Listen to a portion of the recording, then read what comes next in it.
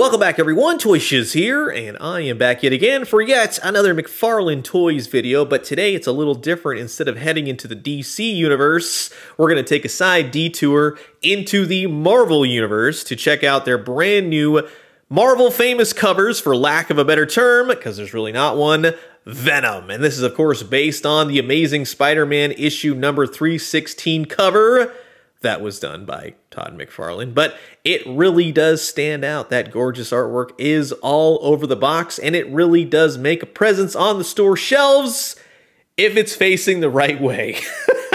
Other than that, you're like, what is that? But mine came from Target. These are starting to hit store shelves. Pre-orders launch tomorrow, Thursday. Here's the barcode if you're looking, and I will have links when they are available down below. So we're just going to jump right into it. There isn't too much to say on this.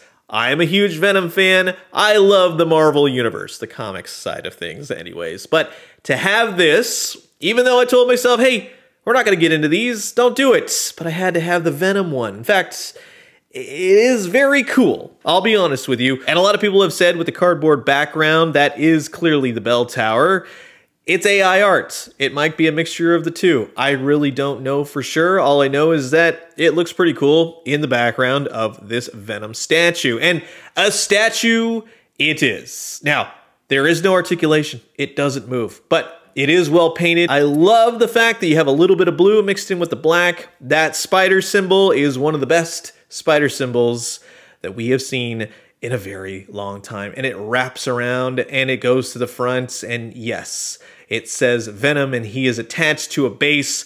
You can probably pry him off if you'd like, but it's seemingly glued on there and I don't feel like breaking it off, but you let me know how that goes for you. Venom, very clear in that classic logo. Again, part of the bell, which is interesting. You've got the rope, a little bit of debris, not much paint to the base. It's very plasticky. Venom is, of course, going to be the heaviest element to this, but there's not a huge amount of heft. You can see that the silhouette of Venom, that is the ideal Venom for me, not the claw monster feet, just a guy in an alien costume suit. Although I do wish that he had the dots. I know it goes back and forth, but because I'm an old Toy Biz fan, I enjoy the dots on the white patches for where the webbing comes out.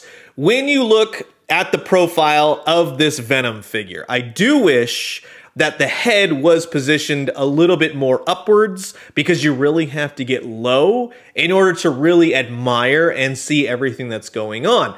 The teeth, the mouth, that is very much Venom. That is a very welcomed Venom, if I do say so in my venomous collection. But if I'm being honest, for the $30 price points, this will most likely be the only one I will be getting. While it's Venom and it's cool and I get it, it's also very lackluster, if I'm being honest. They're just kind of, yeah, it's cool. The backdrop leaves a lot to be desired. It's just a cardboard flap of which, yeah, if it gets busted, it gets busted. Does it look good with this Venom? It's, I mean, yes and no, it's fine. Although I'll tell you, what I did is cut out that cool artwork from the box, and then you can place it within the barrier of the cardboard background, and I think that that honestly looks so much better. You kind of have to prop up the backside of the base into the cardboard, and then you can get it standing pretty well. So in that sense, yeah, I love it. It's very cool, but again,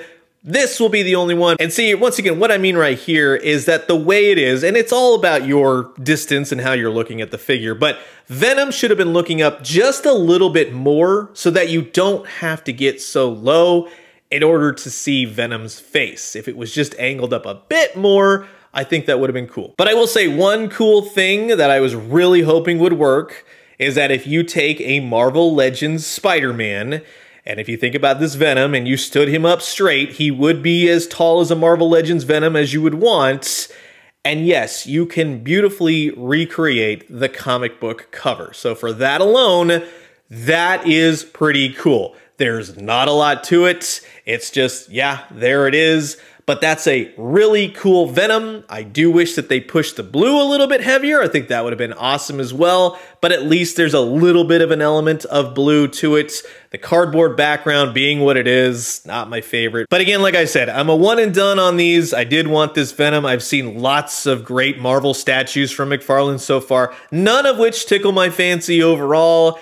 It's just okay. And for a one centerpiece of a Venom that will go in my Venom collection, sure, why not? But as always, I'm curious to know what you guys think. Comment below, let me know. Let's talk everything Marvel Famous covers. I'll leave you with that. Have a great rest of your day, and I'll talk to you all soon. Adios.